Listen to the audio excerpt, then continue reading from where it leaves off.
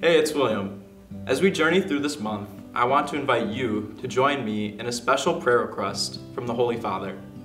Let us pray for all men and women religious and seminarians in formation as they are called to be an instrument of Christ and His redemptive gifts. In their human formation, they prepare to live a life of simplicity, celibacy, and obedience. They build the foundation to enter into a deep relationship with the Lord, but also share their deep love and zeal that they have for God with the community around them. In their spiritual formation, they strive to be in an intimate and unceasing relationship with God. They pray unceasingly, and their hearts are so joyfully filled with the Lord's love.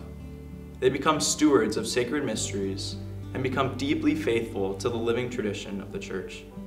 In their pastoral formation, they develop an ability to recognize how God is actively and profoundly present in every single person they encounter. At the end of their formation, their hearts, minds, and souls are transformed.